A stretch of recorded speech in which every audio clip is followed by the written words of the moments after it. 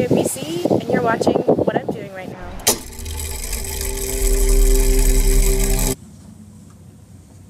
We're using the Panasonic DVX 200 for the first time. Well, I guess you guys used it with Hank the other day, right? And Caitlin, yeah. And Caitlin. So I'm the third person to use it. it is 4 in the morning. I have been working on this video for like 11 hours straight. And you stopped in the middle to take an exam. Oh, I guess that's true. Not 11 hours straight. I worked on it from like 5 p.m. to about 10 p.m., so five hours straight. And then I took a break to finish a computer science exam. And then as soon as I finished that, I started working on this again, and I just finished it. I'm not sure if people are going to find it interesting, but I think it looks really pretty. I think it looks like a movie. Movie? A real life movie. I does look like a movie. I want to show you one thing that I did. It'll give you a little a little bit of insight into uh, the kind of detail that I've been agonizing over for the past 11-ish hours. Watch this shot for a second. to require Homebase Montana to actually follow through Did you notice anything weird about it? Hopefully not. In what actually happened, she sort of goofed up the word Montana when she said it, Homebase Montana to actually follow through but I found that distracting in the context of this video, so I went and found another place where she said the word Montana and just dropped in the Tana part into this clip. So right here is her original Tana, and then that's the one that I dropped in there. Home base Montana to actually follow through It's movie magic! You're so sly. This is why, even if you're watching a documentary, I guess especially if you're watching a documentary, this is why you should always question everything you see on TV, on the internet. It's really easy to make things different than how they actually were. Especially if you're Michael Aranda. I do it all the time. Okay, but can we leave this place now? It's funny that you don't have a car because you can't go anywhere unless I take you. but that means that if you go to Burger King, you can take me with you. I was just reading in the newspaper that this building right here, it used to be a Firestone, but they're going to knock that building down and build a uh, four story condominium complex.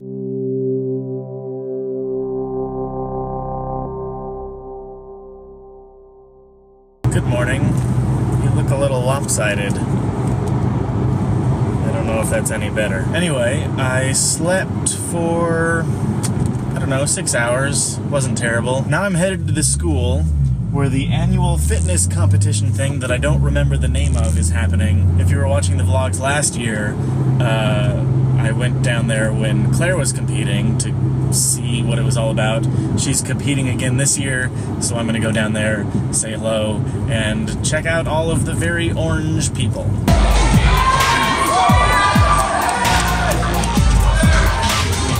Go Claire Bear!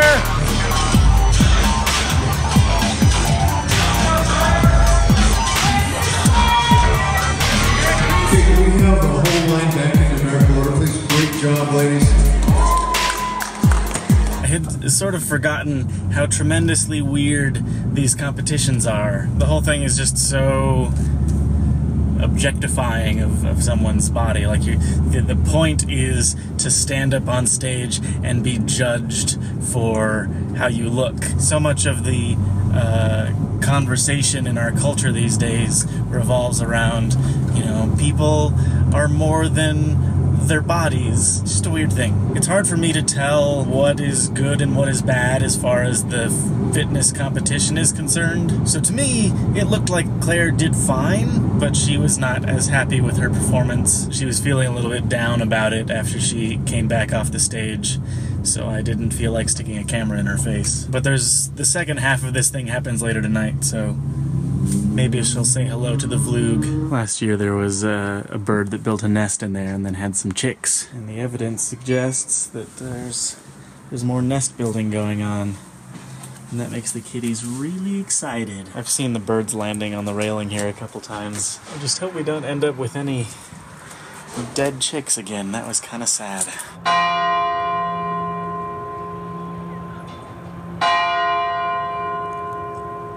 So, with this fitness competition thing, they judge everybody in the morning, then there's a break, and then they have the awards ceremony in the evening, knowing that the awards ceremony was going to take a long time. And Claire's thing is at the very end of the award ceremony. I got here like two and a half hours after the event started this evening. They're still not even close to Claire's class. So I'm just sort of taking this opportunity to go on a little walk around campus. It's really nice out here. The weather's perfect. It's kind of quiet. Just a few people scattered around.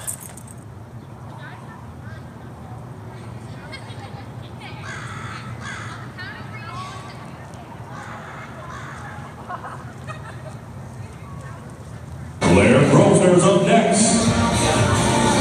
From scenic strength and grad student, 21 years old, she lives in Missoula, Montana. That's Claire Grosvenor. All right, ladies, go the crowd, if you will. File off stage to your left. Claire Grosvenor, Hi. good? Bad? Not great. So she didn't place in the top five. Do you feel like you're going to do this again next year?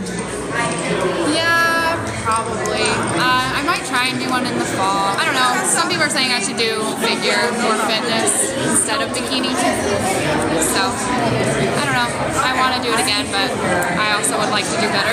It just sucks because I did so much better this time, like body, fat wise, weight wise.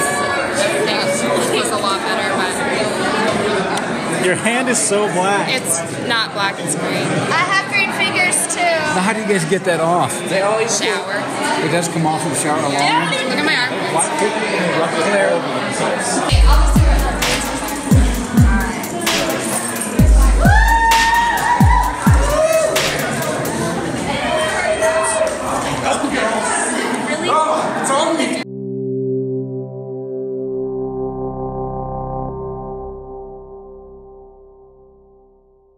Welcome to Sunday.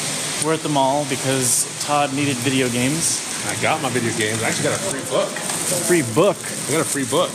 It's that. The guy, the high guy, told me that this was the game to try, so I gotta do that. I got a pretzel. I enjoyed playing them, but I don't have a PS3 anymore, so. Mm. hmm hmm hmm So, Michael, Yes, sir. how has your Saturday been? It's your, your Sunday so far. Uh, it's been kind of sleepy. I wouldn't mind taking a nap now, actually. It's either that or find some caffeine. I'm just feeling a little like, You're always feeling that way. that's true. I don't sleep enough. Well, you you do sleep enough. It's just you're not getting enough rest. I don't, uh, I don't think I sleep enough. I don't think you sleep enough. This is a very interesting paint job. Yep. I wonder how on purpose this was. What if it was the result of a boyfriend having cheated on his girlfriend, and his And girlfriend like, was like, "Yeah." "I'll show you with colored paints on your white car." And he's like, hey, this works.